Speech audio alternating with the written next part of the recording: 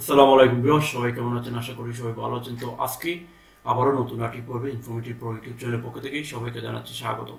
তো আজকে মূলত আলোচনা করব ইটালিয়ান ইউনিভার্সিটির স্কলারশিপ এবং টিউশন ফিট সিস্টেম নিয়ে। তো আপনি যদি ইটালিতে স্টাডি করতে আসতে চান, তো সেই ক্ষেত্রে আপনার ইটালিয়ান ইউনিভার্সিটি কীভাবে আপনাকে স্কলারশিপ প্রোভাইড করবে এবং আপনার টিউশন ফিটা কীভাবে ফ্রি হবে, এই বিষয়টা মূলত এই ভিডিওর মাধ্যমে জানতে পারবেন। তো পাশাপাশি একজন ভিউয়ার্স উনি কমেন্ট সেকশনে একটা কোয়েশ্চেন করছে যে ইটালিয়ান ইটালিতে আন্ডার গ্রাজুয়েট স্টুডেন্টদের জন্য স্কলারশিপের ভিডিও তৈরি করার জন্য। তো সেই ক্ষেত্রে উনি এই ভিডিওর মাধ্যমে ওনার আনসারটাও পেয়ে যাবেন। তো আপনারা যদি প্রতিনিয়ত বিভিন্ন দেশে immigration news student visa scholarship internship work permit BGD visa এবং ইটালির বিভিন্ন ধরনের আপডেট নিয়ে ভিডিও পেতে চান, তাহলে অবশ্যই চ্যানেলটা সাবস্ক্রাইব করে রাখবেন এবং ভবিষ্যতের ভিডিও নোটিফিকেশন পাওয়ার জন্য বেল আইকনে ক্লিক করে রাখবেন। তো চলুন, এখন আমরা মূল আলোচনায় যাই। তো আসলে কীভাবে ইটালিতে স্কলারশিপ পাওয়া যায় এবং টিউশন ফি কীভাবে ফ্রি করা যায়, এই বিষয়গুলো মূলত এই ভিডিওর মাধ্যমে আমরা এখন জানব।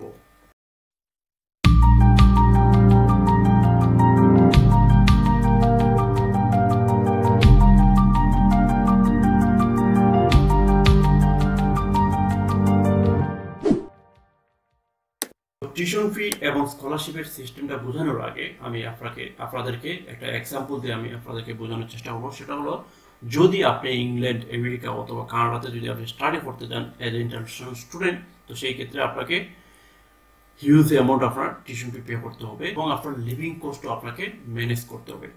তো কানাডাতে অথবা আমেরিকাতে যদি আপনি টিউশন ফি পে করেন অ্যাজ এ ইন্টারন্যাশনাল স্টুডেন্ট আপনাকে কিন্তু মানে বেশি পে করতে হবে। কিন্তু যারা কানাডিয়ান স্টুডেন্ট তারা কিন্তু আপনার ইন্টারন্যাশনাল স্টুডেন্টের চেয়ে কম পে করতে হয়। তো এখন আসেন ইউরোপে। তো ইউরোপে পূর্বে অনেক দেশেই টিউশন ফি ফ্রি ছিল, যেমন সুইডেন, ফিনল্যান্ড তারা কিন্তু অলরেডি টিউশন ফি ইম্পোজ করছে অলরেডি ইন্টারন্যাশনাল স্টুডেন্টদের জন্য।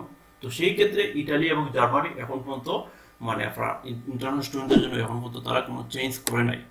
তো ভবিষ্যতে চেঞ্জ করবে কিনা জানি না। তো আশা করি ইটালিতে ভবিষ্যতে চেঞ্জ হবে না, কারণ তাদের সিস্টেমটা হলো ডিফারেন্ট তো এখন চলুন আমরা ইটালিয়ান সিস্টেমটা জানব। তো ইটালিতে যদি আপনি স্টাডি করতে চান ক্ষেত্রে ইটালিতে যে রুলস সেটা হলো মানে আপনার টিউশন ফি পে করবেন, আপনার ফ্যামিলি ইনকাম লেভেলের উপর। যদি আপনার ফ্যামিলি ইনকাম লো হয়, আপনাকে টিউশন ফি অ্যামাউন্ট যদি আপনার ফ্যামিলি ইনকাম লো হয়, আপনাকে টিউশন ফি পে করতে হবে না। তো আপনার যত ফ্যামিলি ইনকাম যদি আপনার মিডিয়াম হয় বা হাই হয়, তাহলে দেখা যাবে যে আপনার মানে একটা অ্যামাউন্ট আপনাকে টিউশন ফি হিসাবে পে করতে হবে। তো সেই ক্ষেত্রে আপনারা যদি ইন্টারন্যাশনাল স্টুডেন্ট হিসাবে যদি ইটালিতে আসেন, আপনাকে কিন্তু আমাদের যে ফ্যামিলি ইনকাম লেভেল তো সেই ক্ষেত্রে আমাদেরকে কি করতে হয় না টিউশন ফি পে করতে হয় না, আমরা মানে ফ্রিতেই স্টাডি করতে পারি। তো আপনি যদি কানাডাতে দেখেন, কানাডার চিত্র কিন্তু ভিন্ন।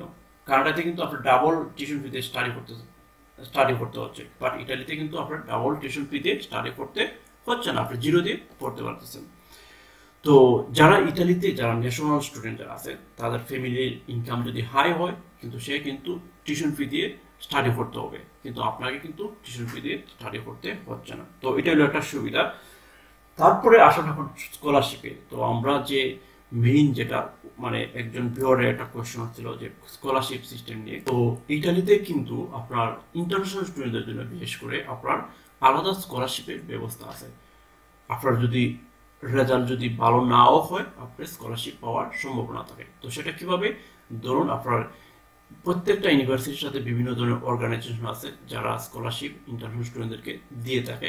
অথবা আপনার রিজনাল কিছু স্কলারশিপ আছে, তারাও কিন্তু আপনার ইন্টারন্যাশনাল স্টুডেন্টদেরকে স্কলারশিপ দিয়ে দেয় তো তো সেই ক্ষেত্রে দেখা যায় নাইনটি নাইন পার্সেন্ট স্টুডেন্ট আপনার টিউশন ফি ফ্রি সহ সে স্কলারশিপ নিয়ে স্টার্ট করতে পারে। তো দেখেন, আপনার আপনার যদি স্কলারশিপ পান, তো আপনার টিউশন ফি ফ্রি আপনার লিভিং কস্টটাও কিন্তু স্কলারশিপের মাধ্যমে কিন্তু ম্যানেজ হয়ে যাচ্ছে। তো আপনার দেখেন ইটালিতে আপনার স্টাডি কিন্তু আপনি কোনো হেডেক ছাড়া আপনার রিল্যাক্সে স্টাডিটা কমপ্লিট করতে পারতেছেন। তো এখন আসুন স্কলারশিপটা আপনি কীভাবে নেবেন? তো উনি যে কোয়েশ্চনটা করছে আন্ডার গ্রাজুয়েট স্টুডেন্টের জন্য স্কলারশিপের সিস্টেম কি? তো আন্ডার গ্রাজুয়েট স্টুডেন্টের জন্য আপনার ইউরোপ কোন, আপনার অল ওভার দ্য ওয়ার্ল্ড কোন তো যে কোনো দেশে আপনার আন্ডার গ্রাজুয়েট স্টুডেন্টের জন্য স্কলারশিপ লিমিটেড থাকে আন্ডার গ্রাজুয়েট স্কলারশিপের সিস্টেমটা আপনি কিন্তু প্রথমেই কিন্তু আবেদন করতে পারবেন না স্কলারশিপে আপনি এই দেশে আসার পরে অথবা আপনার ভিসা পাওয়ার আগ মুহূর্তে আপনার স্কলারশিপের জন্য আবেদন করে রাখবেন। আপনার ওই দেশে আসার পরে আপনার কনফার্ম হবে। ঠিক আছে? তো অনেকে মনে করতে পারে যে আমি যদি স্কলারশিপের ফান্ডটা যদি আগেই পেয়ে যাই, আমি এমবিসিতে শো করতে পারব। তো সেই ক্ষেত্রে আমার ব্যাংক স্টেটমেন্ট দেখানো লাগবে না। তো এই সিস্টেমটা কিন্তু আপনার ইটালিতে, আপনার বিশেষ করে আন্ডার গ্রাজুয়েটের ক্ষেত্রে এই সিস্টেমটা নাই। তো আন্ডার গ্রাজুয়েট স্টুডেন্টদের ক্ষেত্রে আমি আবারও ক্লিয়ার করতেছি, যেটা হলো আপনার এই দেশে আসার পরে আপনার স্কলারশিপটা কনফার্ম হবে এবং আপনার তখন স্কলারশিপটা পাবেন। আর কিন্তু আপনার আসার আগে কিন্তু আপনার ব্যাংক স্টেটমেন্ট আপনার ফান্ড আপনার সোর্স অফ ইনকাম সব কিছু আপনার ভিসা পাওয়ার জন্য যা যা দরকার আপনার কিন্তু সব আসার আগে শো করতে হবে। তো আর একটা কমন একটা কোয়েশন যেটা অনেকে করে থাকে, সেটা হলো যে আপনার ব্যাংকে যদি দশ লাখ টাকা শো করে, তাহলে ফ্যামিলি ইনকাম সে কীভাবে জিরো শো করবে?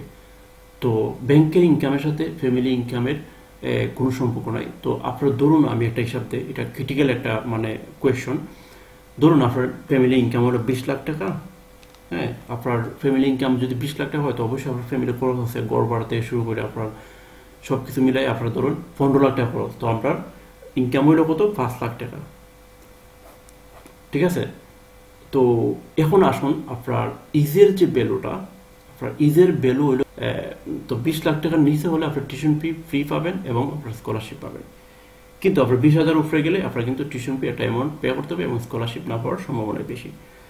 তো আপনার বিশ হাজার টাকা যদি ইজের ভ্যালু হয় আপনার ধরুন পাঁচজন ফ্যামিলি মেম্বার যদি পাঁচজন থাকে, তাহলে পাঁচ বিশে একশো, আপনার এক কোটি টাকা ইনকাম আপনাকে শো করতে হবে। তো আমাদের বাংলাদেশের ম্যাক্সিমামে কিন্তু এক কোটি টাকা ইনকাম নাই। তো সেই ক্ষেত্রে আপনার ব্যাংক স্টেটমেন্ট বা ফ্যামিলির জিরো ইনকাম বা স্কলারশিপ পাওয়া, এগুলোর সাথে কোনো সম্পর্ক নাই। যদি কোনো সম্পর্ক থাকতো, অবশ্যই আপনাকে কোয়েশ্চেন করতো যখন আপনার বেসিতে যখন যাবেন ভেরিফাই করার জন্য আপনার ফ্যামিলির সার্টিফিকেট তো সেই ক্ষেত্রে তারা তখন কোয়েশন করতো আপনি তো ব্যাংক স্টেটমেন্ট শো করছিলেন, পাঁচ লাখ টাকা বা দশ লাখ টাকা, তো এখন কীভাবে ফ্যামিলি ইনকাম জিরো হলো? ঠিক আছে? তো এটার সাথে ব্যাংক স্টেটমেন্টের সাথে এটা কোনো সম্পর্ক নাই। কারণ হলো আপনার ফ্যামিলি ইনকাম আপনার বিশ হাজার টাকা ফ্যামিলি ইনকাম হতেই পারে। এর মধ্যে দশ লাখ টাকা আপনার ব্যাংকে রাখতেই পারেন। কিন্তু সব তো আপনার মানে ইনকাম না। আপনার তো এই টাকা থেকে আপনি খরচ করবেন, তাই না? এই যে আপনি দশ দশ লাখ টাকা যে আপনি অ্যাকাউন্ট রাখছেন, এটা কি আপনার খরচের উদ্দেশ্যে রাখেন না এটা তো আপনার খরচ। আপনার কিসের জন্য খরচ? আপনার স্টাডির জন্য খরচ হবে। তো আশা করি আপনারা বুঝতে পারছেন যে ব্যাংক স্টেটমেন্ট এবং আপনার স্কলারশিপ পাওয়ার সাথে এগুলোর কোনো রিলেশন নাই। তো আজকে এই পর্যন্তই। সবাই ভালো থাকবেন। যদি ভিডিওটা ভালো লাগে থাকে, অবশ্যই শেয়ার করবেন। তো দেখা হবে নেক্সট ভিডিওতে আল্লাহ হাফেজ।